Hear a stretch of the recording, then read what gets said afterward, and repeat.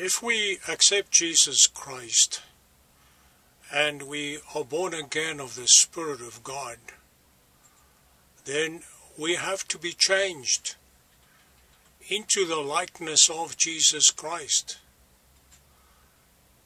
If we obey Jesus and we follow the guidance of the Holy Spirit, He will change us into His likeness.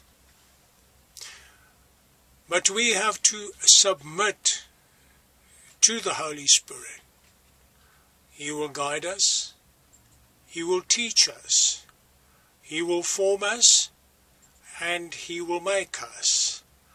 He will discipline us and He will shape us so that we become like Jesus Christ, so that we can be in Christ and Christ can be in us. We have to change.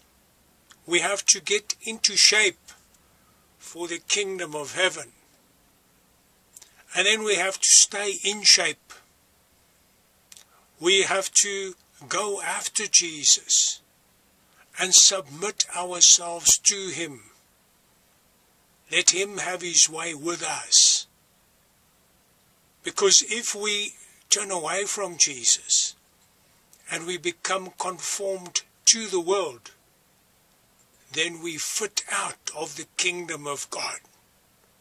We become castaways and we are not suitable for the kingdom of heaven. We have to stay in shape. We have to stay in Christ to be able to enter into the kingdom of heaven. Have we been transformed into his likeness through our obedience to him, through walking with him day by day? Are we staying in shape? Because if we do not stay in shape, we will not be suitable for his kingdom. And he will say to us, Go away, I never knew you, you workers of wickedness. Are we staying in shape? Are we staying with Jesus? Are we following the guidance of the Holy Spirit? Are we pleasing to our Master?